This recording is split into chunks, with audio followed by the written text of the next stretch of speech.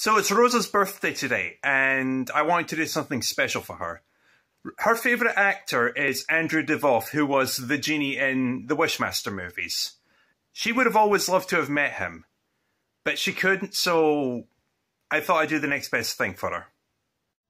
And go. Hello, Rosa. Hope you're doing well.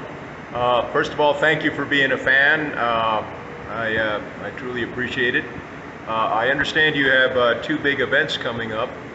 Uh, one is your birthday, so uh, happy early birthday to you, and uh, uh, you're getting married, I, I, think, in October. So, on that big occasion, congratulations to you, and thank you so much for again for being a fan. And I'm coming to you live from uh, from Three Marm Brewing, just finishing up some stuff. I uh, I'll share with you. So right behind me, I've got uh, you can see a little bit of the of the mural I'm working on, and then over here, I did some uh, I did some uh, uh, logs, live edge logs, and and did a an arrowhead in the middle.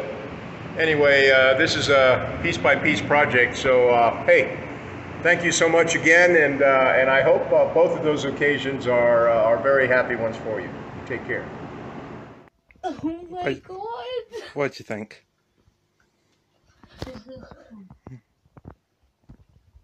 I'm so shocked. Poor girl's tearing up. Hmm.